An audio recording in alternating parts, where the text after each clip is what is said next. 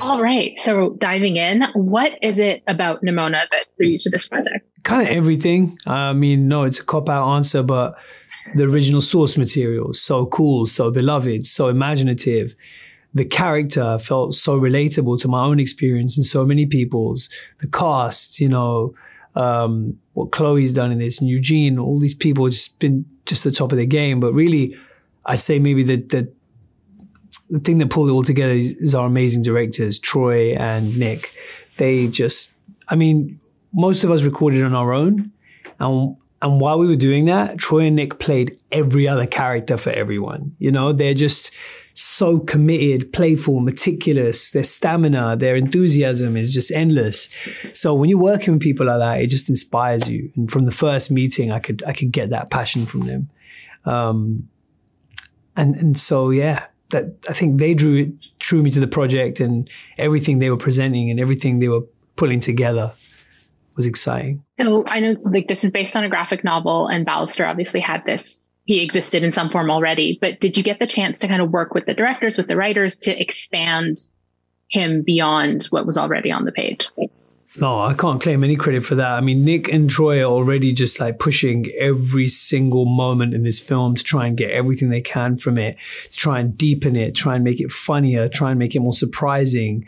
Um, I was really just kind of like in their hands and, you know, trying to understand their vision for it and, and, and do my best to kind of hit that mark. And then they'd also encourage me to improvise and try things and play around. So, that was more moment to moment. In terms of the overall arc and the vision of the character, I was in safe hands that I knew that they would always push for everything that they could. Is there like a standout moment of improv that like comes to mind when you think back to the recording?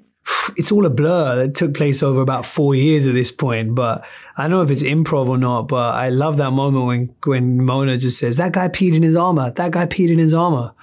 Um, mm-hmm. I was like, "What?"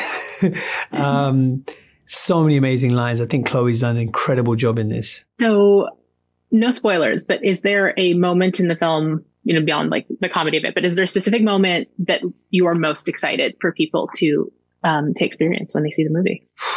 Honestly, it's it's not a specific moment, but I just want people to meet Nimona and fall in love with her. Like I said, I think what Chloe's done with this character is just phenomenal. I think Nimona, to begin with, is a hugely lovable hilarious, mischievous character. I think this could be just one of people's favorite animation characters of all time. I, I genuinely feel like that.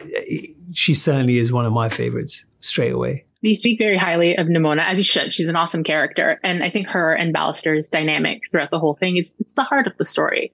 So I wonder if you could speak to kind of what it was like bringing that that dynamic to life it was interesting because, like I said, we were often recording solo, so we were relying a lot on Nick and Troy to do the you know other characters. But what's amazing is that um, you know when I did get to hear what Chloe was doing, when I could get to see what she was inspiring the animators to do, like the force of her performance and of Nimona's character just shone through, and you know when you're working with people that good and with writing and characters and directors that good, honestly, it's like you kind of just have to just respond, you know, to what you're mm-hmm. given. Um, don't get me wrong, it's a real workout. They put me through my paces. Mm-hmm. I wasn't just chilling out and just batting the ball back, but they would not let me coast. I'd be like, yeah, yeah I think we got that line. They're like, no, do it 50 more times. Do it this way, this way, this way, this way. So, you know, my first time doing animation.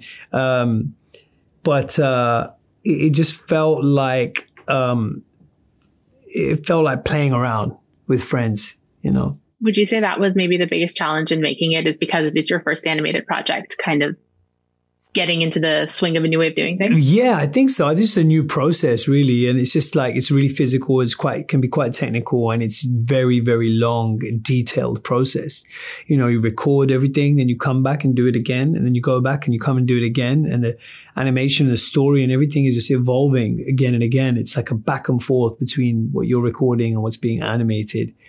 For, for literally years, I think three or four years at this point, you know. So um, there's something kind of really inspiring about that um, commitment that it takes to make it. And it, it's certainly, I have even more respect for animators after this.